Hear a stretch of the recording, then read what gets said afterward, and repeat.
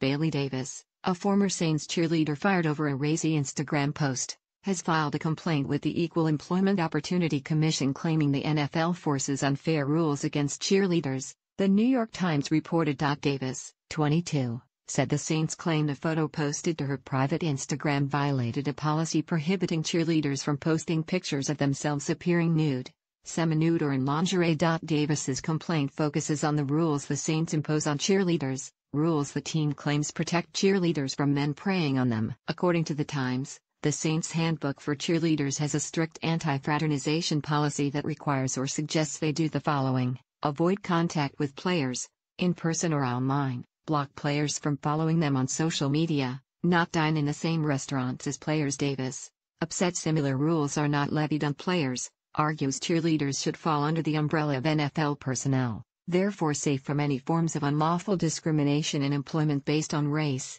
gender, etc. I'm doing this for them so they can do what they love and feel protected and empowered, and be a female athlete and not be pushed to the side and feeling unimportant, Davis said. In text messages obtained by The Times. Senior director of the Saints cheerleading team Ashley Deaton told Davis her Instagram post displayed very poor judgment because she was recently accused of being at the same party as a player. Though no evidence was found she was at the party in question, Davis was fired four days after the Instagram post.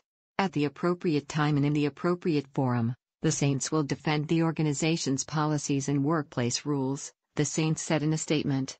For now, it is sufficient to say that Ms. Davis was not subjected to discrimination because of her gender.